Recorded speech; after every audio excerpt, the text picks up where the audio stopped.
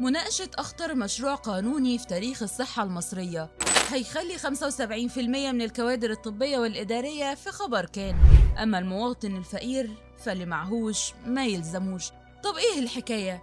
من وقت ما أعلن مجلس النواب عن مناقشة مشروع جديد يسمح للمستثمرين المصريين أو الأجانب من القطاع الخاص إمكانية إدارة وتشغيل المستشفيات الحكومية بهدف تشجيع الاستثمار على القطاع الصحي. والدنيا قامت وما قعدتش. لأن المشروع في شكله من بره الهدف منه خدمة المواطن. بس معلش أنهي مواطن بالظبط؟ اللي قادر ومعاه فلوس يدفع تمن الخدمة الطبية ولا المواطن الغلبان اللي بيقضي عشانهم وبيلاقي قوت يومه بالعافية؟ فإذا المشروع ده بيخدم بس اللي معاهم فلوس فالناس الغلابة كده راحت في الرجلين. مش بس هما لا ده كمان الكوادر الطبية اللي بيشتغلوا في المستشفيات هتبقى في خطر. نقيب الأطباء دكتور أسامة عبد الحي قال إن نقابة الأطباء مرحبة بتشجيع القطاع الخاص عشان يشارك في تقديم الخدمات الطبية والنقابة بتطالب بتسيير الأمور والإجراءات للمستثمرين عشان يبنوا مستشفيات خاصة جديدة مش تأجير المستشفيات الحكومية اللي بتخدم المواطن اللي دخله على قده اللي أكيد أسعار الخدمة الصحية هتبقى عبء عليه ومش هيلاقي العلاج لأن المستثمر في الأول والآخر عايز يحقق أرباح وده مش هيكون على حساب المواطنين بس ده كمان اللي بيشتغلوا هيبقى فيه تهديد كبير عليهم. وقال إن في بنود كتيرة محتاجة تعديل وتوضيح وخصوصا في نقطة تحديد وجود القطاع الخاص في مهمة بناء وتشغيل المستشفيات والمراكز الطبية الجديدة بدل من إدارة وبناء المستشفيات بشكل عام. لأن في الغالب المستثمرين بيحبوا يستسهلوا ويأجروا وحدات طبية موجودة وشغالة وهيحطوا عينيهم على المستشفيات الناجحة بس بدل ما يتعبوا نفسهم. وقال كان في نوعية من المستثمرين واحد منهم بنى مستشفى خاصة متكاملة والتاني استحوذ على مجموعة من المستشفيات الخاصة وعمل شوية تطوير بسيط ليها مقابل زيادة أسعار الخدمات الطبية.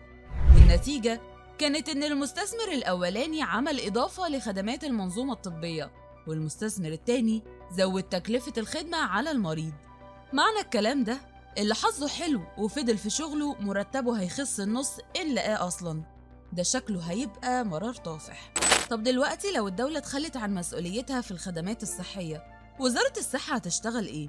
عضوة لجنة الصحة بمجلس النواب سهير عبد الحميد قالت إن الحكومة ردت على كام مادة من اللي لقت اعتراض وإن مشروع القانون لسه بيتناقش ومفيش داعي للاعتراض عليه من دلوقتي. وقالت إن لجنة الصحة هتجتمع تناقش المشروع مع ممثلين عن الحكومة عشان يتفقوا على مسودة مقبولة. ومن بنود المشروع اللي بيتناقش تحديد رئيس الوزراء للمستثمر البنود عن حصة الحكومة. بس المشروع ما فسرش الحصة دي هتبقى فلوس هتاخدها الحكومة من الأرباح ولا هتدفعها للمستثمر عشان يوفر الخدمة الصحية للناس؟ ولا هيكون في شكل تاني للشراكة؟ وبند تسعير الخدمات الطبية وطريقة الإشراف والمتابعة الفنية والمالية.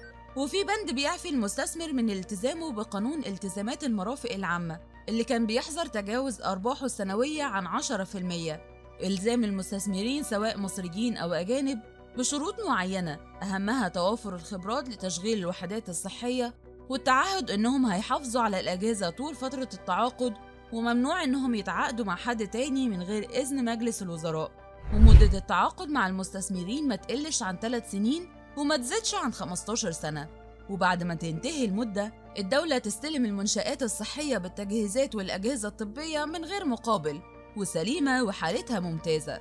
وأكد الدكتور أسامة عبد الحي نقيب الأطباء إن من واجب النقابة لفت النظر لكل أخطاء المشروع واللي بيهدد سلامة وصحة المواطن المصري واستقرار المنظومة الصحية. وفي جلسة يوم الحد 19 مايو وافق مجلس النواب بشكل مبدئي على المشروع وليس نهائي. أما النائبة مها عبد الناصر عضو مجلس النواب عن الحزب المصري الديمقراطي اعترضت على المشروع وطلبت النواب التفكير فيه ودراسته كويس وحذرت إن التاريخ هيفتكر إن الحكومة دي هي اللي أجرت المستشفيات وقالت إنه هيكون يوم أسود في تاريخ الصحة المصرية. الجملة دي اعترض عليها رئيس المجلس المستشار حنفي جبالي وقال لها أيامنا كلها بيضة وحلوة إن شاء الله. عموما محدش عارف هي هتبقى سودة ولا بيضة زي ما قال سيادة المستشار. وبس كده تابعونا عشان يوصل لكم كل جديد.